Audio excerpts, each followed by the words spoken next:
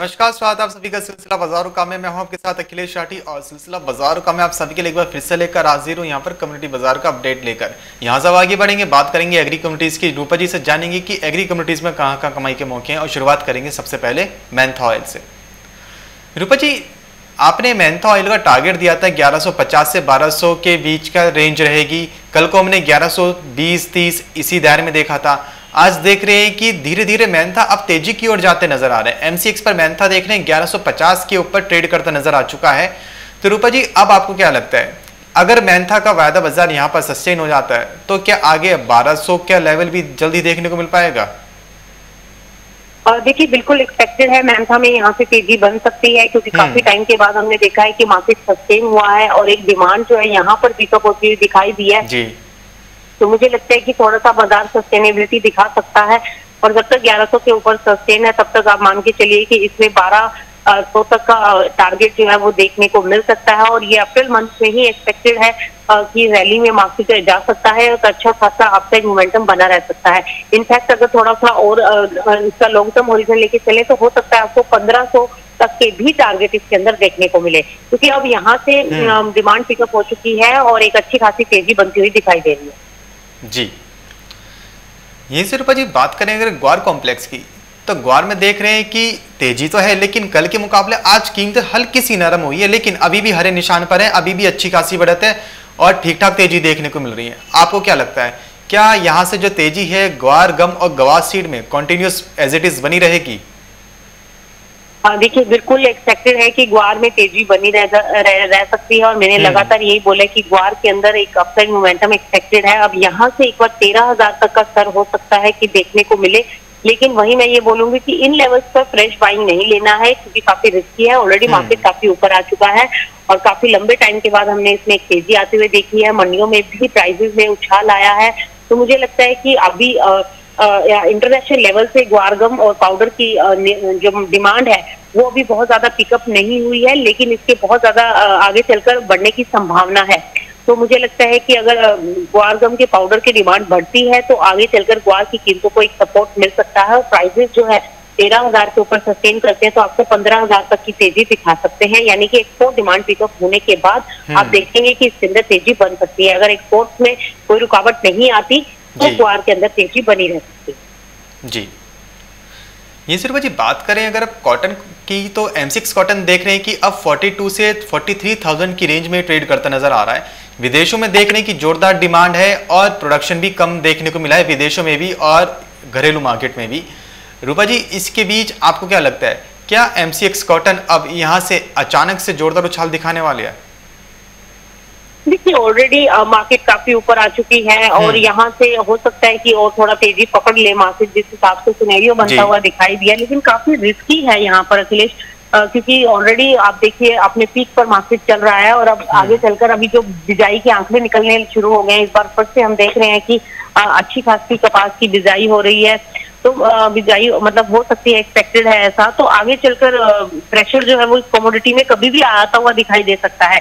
तो काफ़ी रिस्की रहेगा यहाँ पर बाइंग को इंटेक्ट करके चलना। मेरे हिसाब से जितना अच्छा अभी प्राइस मिल रहा है इस प्राइस पर बिल्कुल एग्जिट लेते रहे धीरे धीरे कर कर। क्योंकि जो ये प्राइजेस हैं ये काफ़ी ओवरबोट हो चुके हैं। तो यहाँ से कभी भी एक साफ़ डिक्लाइन आता हुआ दिखाई दे सकता है। जी।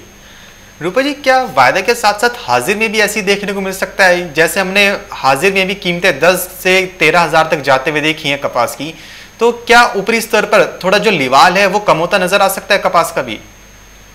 देखिए बिल्कुल जो खरीदारी है वो वहाँ पर कम हो सकती है और दूसरा अगर प्राइसेस इतने ऊपर सस्टेन रहते हैं तो यहाँ पर आप देखेंगे कि जब एकदम से माल निकल कर आएगा मार्केट के अंदर तो प्रेशर फिर बनता हुआ दिखाई दे सकता है हम्म। इस साल हमने काफ़ी जगहों पर देखा है कि कपास के अप्रोक्सीमेटली सभी मंडियों के अंदर नए रिकॉर्ड कपास ने छूते हुए दिखाई दिए हैं इस साल तो मुझे लगता है कि अब ये काफ़ी तेज़ी आ चुकी है। अब यहाँ से कभी भी मार्केट गिरावट की तरफ़ जा सकती है। मेरे हिसाब से तो मुझे लगता है कि अभी थोड़ा सा वेट कर लें। अगर थोड़ा बहुत और मार्केट उछलता है तो वहाँ पर लिक्विडेट करते रहे माल को। हम्म जी। रूपा जी, बात करें यहाँ से अगर बिनौला खल की तो बिनौला खल में देख रहे हैं कि आज भी सुस्ती के साथ ही कारोबार है। बिनौला खल ने फिर से अपनी वही रेंज पकड़ ली है, तीन हज़ार से इकतीस सौ वाली। रूपा जी फंडामेंटल के साइड से देखें तो बिनौला खल में ऐसा कोई गिरावट वाला फंडामेंटल तो नहीं बनता नज़र आ रहा है। तो ये जो सुस्ती देखने को मिल रही है वायदा में बिनौला खल में वो क्यों देखने को मिल रही है? देखिए डिमांड नहीं है इसकी इस लेवल के ऊपर। और अभी जो बाज़ार है वो बाज़ार रुका हुआ है जो पैंतीस के ऊपर जब भाव गए थे वहाँ से हम्म। आप देखिए कि दबाव लगातार बना और उसने फिर मार्केट को उठने नहीं दिया। और लगातार हम देख रहे हैं कि प्रेशर कॉन्टिन्यूशन में चलता दिखाई दे रहा है। तो मुझे लगता है कि यहाँ पर अभी थोड़ा सा डिमांड फैक्टर अहम रोल प्ले करता नज़र आ रहा है वो काफ़ी सुस्त हो चुकी है यहाँ पर। और इसकी वजह से हम देख रहे हैं ये गिर नहीं रही इस वजह से नहीं गिर रही क्योंकि कॉटन के अंदर एक अच्छी रैली बनी हुई है। और उस रैली के चलते इस, ये सपोर्ट ले रहा है और मार्केट टूट नहीं पा रहा। है अदरवाइज़ यहाँ पर हम देखते हैं अभी बिनोला फल की कीमतें तीन हज़ार के आसपास दिखाई देती जो कि अभी इकतीस सौ बत्तीस सौ की रेंज में फ़िलहाल ट्रेड करती दिखाई दे रही है। तो मुझे लगता है कि अभी फ़िलहाल बाज़ार जो है इसी रेंज में रहेगा। बहुत ज़्यादा तेज़ी अभी बिनोला फल में एक्सपेक्टेड नहीं है। जी। ये सिर्फ़ जी बात करें अगर अब मसालों की तो मसालों में देख रहे हैं कि तेज़ी देखने को मिल रही है। रूपा जी ये जो शॉर्ट कवरिंग आई है क्या इससे बचना चाहिए या फिर इसमें भी पोजिशन बना लेनी चाहिए? देखिए शॉर्ट कवरिंग में पोजीशन बनाना कोई बड़ी बात नहीं है क्योंकि ये देखिए अभी ट्रेंड देखिए आप फंडामेंटल देखिए फंडामेंटल हम्म। काफ़ी पॉजिटिव है इन कॉमोडिटीज का लेकिन कभी भी बहुत ज़्यादा तेज़ी में आपको खरीदारी नहीं करनी चाहिए। इनफैक्ट जब बाज़ार निचले स्तर पर हो तभी उसमें फंडामेंटल को स्टडी करते हुए उसके अंदर आपको अपनी रणनीति जो है वो बाइंग की लेनी चाहिए, क्योंकि काफ़ी ह्यूज इन्वेस्टमेंट होती है इसके अंदर। तो मेरे हिसाब से आप जो भी पोजीशन बनाए तो अच्छे से फंडामेंटल एनालिसिस करके करना चाहिए। और जहाँ तक स्पाइसिस की बात है, हम लगातार अखिलेश डिस्कस करते आ रहे हैं। पिछले मेरे को लगता है कि इस ईयर के स्टार्टिंग में ही हमने ये डिस्कस किया था कि ये साल जो है वो मसालों का साल हो सकता है।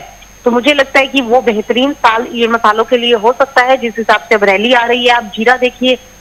जीरे के अंदर जो तेज़ी बनी है अब यहाँ से साढ़े तेईस हज़ार तक का जीरा स्तर दिखा सकता है और अगर ये सस्टेन कर गया तो उसमें और ज़्यादा लंबी तेज़ी की तरफ़ जा सकता है। वहीं धनिया भी अब काफ़ी टाइम के बाद उठा है और धनिया में भी अभी बारह साढ़े बारह हज़ार के आसपास हम देख रहे हैं जबकि हम्म। एक्सपेक्टेड है तेरह से पंद्रह हज़ार का टारगेट धनिया भी दिखा सकता है। और हल्दी एज यूजुअल हल्दी में भी अब डिमांड जो है वो अच्छी खासी पिकअप होती दिखाई दी है। राइवल के बाद अभी वापस से हल्दी के अंदर खरीदारी देखने को मिल रही है और हल्दी भी दस हज़ार के बेहद करीब पहुँचती दिखाई दे रही है। तो मुझे लगता है कि अभी बेस में मसालों में काफ़ी अच्छा पॉजिटिव रुझान है, इसमें बाइंग किया जा सकता है और अभी एक रैली आ सकती है, लेकिन वहीं करेक्शन के अंदर बाइंग करके चलने में ही समझदारी है ओवरऑल ट्रेंड पॉजिटिव है। जी। ये सिर्फ़ जी कैसे सीट देख रहे हैं कि हल्का सा नरम हुआ है ऊपरी स्तर से, जो कैसे सीट पिछहत्तर सौ के ऊपर देखने को मिला था, अब वो बहत्तर के लेवल्स पर आ गया है। ऊपरी स्तर से रूपा जी कैसे सीट देख रहे हैं फिर से लुढ़का है। आपके अनुसार आपको क्या लगता है? कैसे सीट पिछहत्तर सौ के ऊपर की सस्टेनेबिलिटी कब तक दे पाएगा?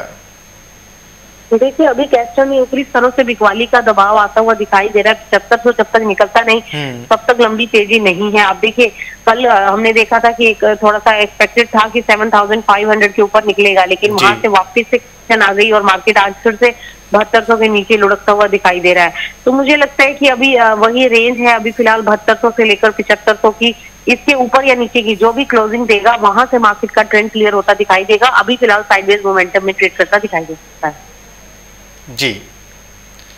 इसी के साथ रूपा जी बात करें यहाँ से अगर अब एडिबल ऑयल्स की तो रूपा जी हमने खाद्य तेलों की जो कीमतें हैं लगातार तेज होते हुए देख ली हैं खासकर की सरसों सोयाबीन और सीपीओ की। सीपीओ इस बार सबसे ज़्यादा महँगा तेल बिका है।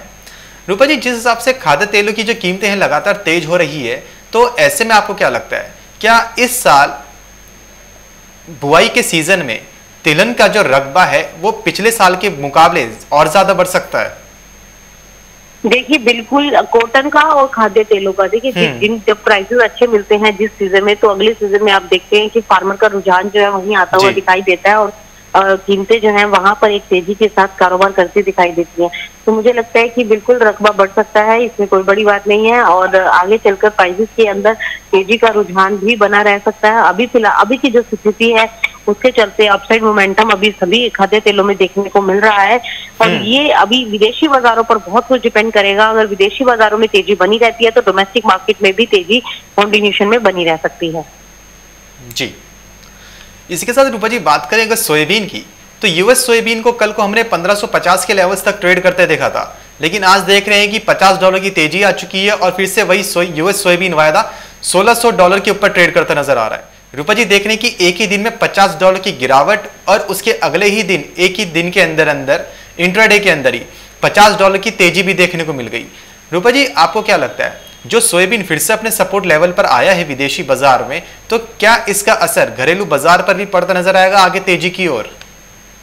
देखिए बिल्कुल असर पड़ेगा अगर विदेशी बाज़ार लुढ़कते हैं तो डोमेस्टिक। मार्केट में भी वो करेक्शन जो है वो आती हुई दिखाई दे सकती है और यहाँ पर भी बाजारों में एक प्रेशर बन सकता है वहीं देखिए सरकार भी काफ़ी जो है कंट्रोल करने की कोशिश कर रही है कि प्राइजेस बहुत ज़्यादा ऊपर ना चले जैसे कि अभी यूपी गवर्नमेंट ने जो जो खुदरा दुकानदार है यानी कि जो रिटेलर्स हैं उनके लिए तीस क्विंटल से ज़्यादा तेल का स्टॉक रखने पर जो है अपनी लिमिट लगा दी है अगर कोई इससे ज़्यादा का स्टॉक रखता है तो उसके खिलाफ कानूनी कार्रवाई की जाएगी तो यानी कि अब कीमतों को कंट्रोल करने के लिए हम्म। ताकि स्टॉक इसको ज़्यादा स्टॉक ना करे और बाज़ार में लिक्विडिटी रहे डिमांड के अनुसार सप्लाई निकलती रहे इस वजह से अ, मतलब मुझे लगता है कि कीमतों को कंट्रोल करने की कोशिश की जा रही है और कीमतें ताकि बहुत ज़्यादा ना बढ़ पाए। और दूसरा विदेशी बाजारों में भी अगर दबाव आ रहा है तो डोमेस्टिक मार्केट भी उसका वहाँ से एक ट्रेंड लेते हुए यहाँ पर भी गिरते हुए दिखाई दे सकते हैं। और जिस तरीके से सरकार की तरफ़ से स्टेप उठाए जा रहे हैं तो वहाँ से दिखाई दे रहा है कि कीमतों को बहुत ज़्यादा ऊपर नहीं जाने दिया जाएगा तो यहाँ पर मार्केट सस्टेन भी होता हुआ नज़र आ सकता है। जी। यहीं से रूपा जी, बात करें अगर अब मक्के की तो हमने देखा है कि विदेशी बाजारों में मक्के की कीमतों में तेज़ी आती हुई नज़र आई है। दूसरा, अब भारत सरकार समेत जो दूसरे देशों की सरकार हैं, वो भी अब एथेनॉल बढ़ाने पर ज़ोर दे रही है कि एथेनॉल प्रोडक्शन को बढ़ाया जाए, जिसमें मक्का समेत अन्य एग्री कम्युनिटीज का भी इस्तेमाल किया जाता है। रूपा जी, एक तो मक्के का उत्पादन कम होना, दूसरा डिमांड बढ़ जाना, तीसरा डाइवर्जन मिल जाना। तो इन सब के मद्देनजर मक्के की कीमतें अब यहाँ पे जो तेज हुई है भारत में एमएसपी से ऊपर बिक रहा है मक्का तो क्या अभी ऐसे पॉसिबिलिटीज हैं कि मक्के की कीमतें और तेज हो जाएँ? देखिए अभी एक्सपोर्ट डिमांड ज़रूर बढ़ी है मक्के के अंदर और अप्रोक्सीमेटली 20 से 30 परसेंट के आसपास एक्सपोर्ट डिमांड जो है वो निकलती हुई दिखाई दी है जिसकी वजह से आप देख रहे हैं कि मक्के की कीमतों को एक सपोर्ट आता हुआ दिखाई दिया है।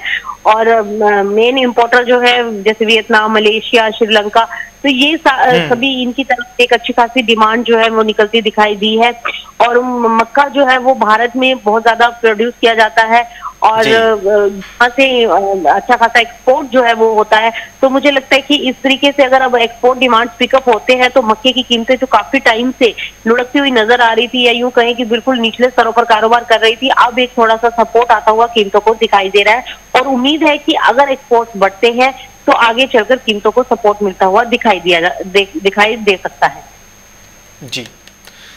यहीं से रूपा जी बात करें अगर गेहूँ की तो गेहूँ में देख रहे हैं कि भारत एक के बाद एक रिकॉर्ड कायम करता जा रहा है। जब से देखा है कि विदेशी बाजारों में गेहूँ की मांग उठी है तब से रूपा जी देख रहे हैं भारत भी गेहूँ का निर्यात लगातार करता ही जा रहा है और काफ़ी अच्छी तेज़ी निर्यात में भी देखने को मिल रही है और कीमतों में भी। रूपा जी आपको क्या लगता है? जिस हिसाब से भारत ऐसी डिमांड वाली स्थिति के अंदर विदेशी बाजारों को गेहूँ की सप्लाई कर रहा है तो क्या कहीं ना कहीं ऐसी भी पॉसिबिलिटीज हैं कि विदेशी बाजारों में जब सप्लाई पूरी हो जाएगी तो जो कीमतें हैं वो थोड़ी नरम भी पड़ जाएँ देखिए वो तो बाद की बात है लेकिन अभी फ़िलहाल जो सिनेरियो बनता हुआ दिखाई दे रहा है हम्म। देखा जाए तो गेहूँ का एक्सपोर्ट अच्छा खासा बड़ा है और 2021-22 में 70 लाख टन को पार कर चुका है और अब उम्मीद की जा रही है कि ये एक करोड़ टन से भी अधिक रह सकता है इस साल। यानी अगर निर्यात बढ़ता है, भारत से तो आगे चलकर गेहूँ की कीमतें भी एक मुकाम हासिल कर सकती हैं, एक अच्छा रिकॉर्ड जो है वो बनाती हुई दिखाई दे सकती हैं।